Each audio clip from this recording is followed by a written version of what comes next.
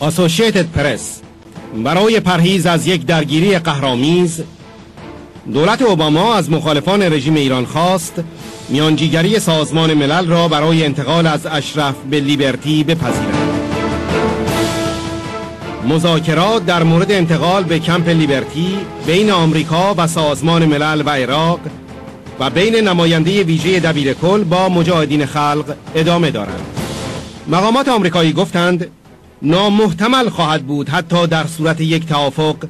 بتوان همه ساکنان را در زمانی که به پایان ضرب العجل باقی مانده به کمپ آزادی منتقل نمود. آسوشیتد پرس 19 دسامبر 2011 واشنگتن. دولت اوباما روز دوشنبه برای پرهیز از یک درگیری قهرامیز از ایرانیان مخالف در کمپ اشرف در عراق خواست میانجیگری سازمان ملل متحد با مقامات عراقی را برای انتقال به مکان دیگری بپذیرند. در حالی که ضرب العجل 31 دسامبر دولت عراق برای بستن کمپ اشرف فرا می‌رسد مقامات ارشد آمریکایی گفتند ضروری است حدود 3000 عضو سازمان مجاهدین خلق ایران کمپ را ترک و به یک پایگاه موقت در جنب فرودگاه بغداد منتقل شوند. به اغلب احتمال این همان کمپ لیبرتی آزادی است که اخیرا توسط ارتش آمریکا تخلیه شد و جایی است که پروسه انتقال آنها به کشورهای سالس از اینجا انجام می شود. مقامات آمریکایی گفتند مجاهدین خلق در مقابل ایده انتقال مقاومت می کردند. اما علائم اخیر از جانب این گروه پس از گفتگوهایی که در جریان است آثاری از امید ارائه می دهد که این انتقال را بپذیرند. مقامات آمریکایی همچنین به گروه در مورد تهدید به مقاومت و درگیری هشدار دادند و از مجاهدین خلق خواستند که واقع بین باشند و در اعتراضهای خود به استفاده از زبان ماکسیمالیستی حد اکثر طلبانه خاتمه دهند. مقامات آمریکایی که در یک کنفرانس تلفنی با رسانه ها صحبت می کردند اصرار کردند اسامی آنها در گزارش های خبری در مورد تلاش های دولت آمریکا منتشر نشود. مذاکرات در مورد جابجایی بین آمریکا، سازمان ملل و عراق و همچنین بین فرستادی سازمان ملل مارتین کوبلر با مجاهدین خلق ادامه دارد. کمپ اشرف در شرق عراق معوای ایرانیانی است که متحد به سرنگونی رژیم ایران هستند. از سال 2003 این تبعیدیان به یک موضوع آزاردهنده برای دولت عراق که در صدد بهبود روابط خود با رژیم ایران است تبدیل شده است یک حمله خونین نیروهای عراقی در ماه آوریل به این کمپ انتقادهای بین المللی در مورد نحوه برخورد بغداد با این گروه را برانگیخت. شاهین قبادی یک سخنگوی مطبوعاتی مجاهدین در پاریس گفت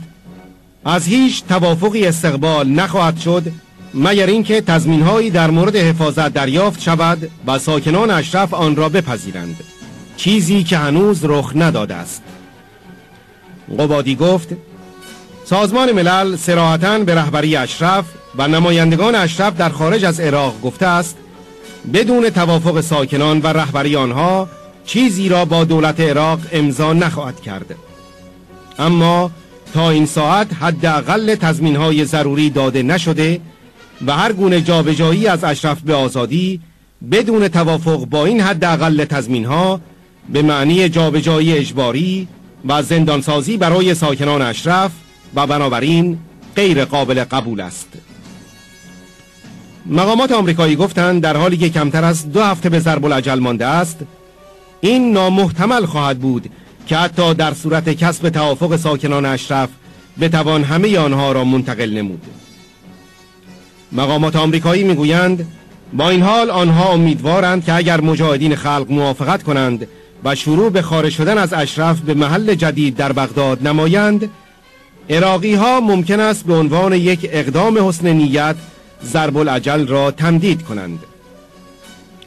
تأسیسات جدید تحت کنترل دولت عراق اما تحت نظارت دائمی سازمان ملل قرار می گیرد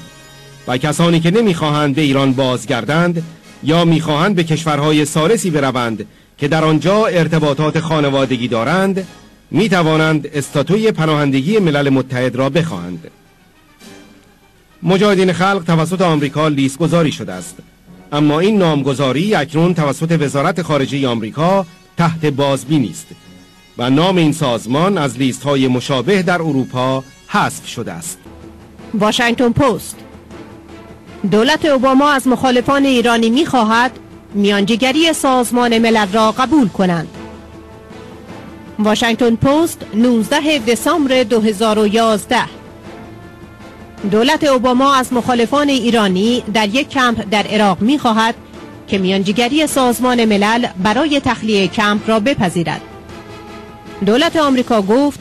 این میانجیگری به جلوگیری از خشونت با عراقی ها که می‌خواهند تا پایان امسال کمپ را ببندند منجر می شود. مقامات ارشد دولت آمریکا گفتند با نزدیک شدن ضرب العجل حدود سه هزار تن از اعضای مجاهدین خلق باید به یک محل جدید موقت در نزدیک فرودگاه بغداد منتقل شوند و از آنجا پروسه استقرار آنها در کشورهای دیگر شروع می شود مقامات آمریکایی می گویند مجاهدین در مقابل این می کردند محازا دولت آمریکا که روز دوشنبه با خبرنگاران از طریق کال کنفرانس صحبت می کردند گفتند امیدوارند یک میانجیگری و معامله سر بگیرد. رئیس جمهور برگزیده مقاومت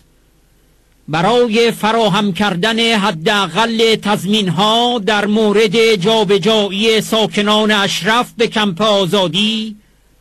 به پرزیدنت اوباما و دبیر کل بانکیمون فراخوان داد. خانم رجوی رئیس جمهور برگزیده مقاومت ایران با استقبال از میانجیگری ملل متحد و ایالات متحده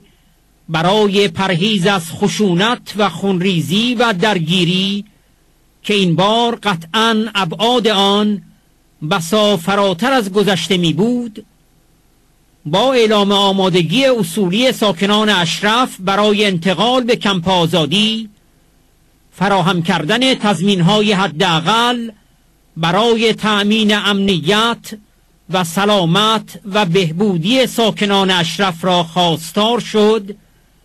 و به مداخله رئیس جمهور آمریکا و دبیر کل ملل متحد فراخوان داد. رئیس جمهور برگزیده مقاومت تأکید کرد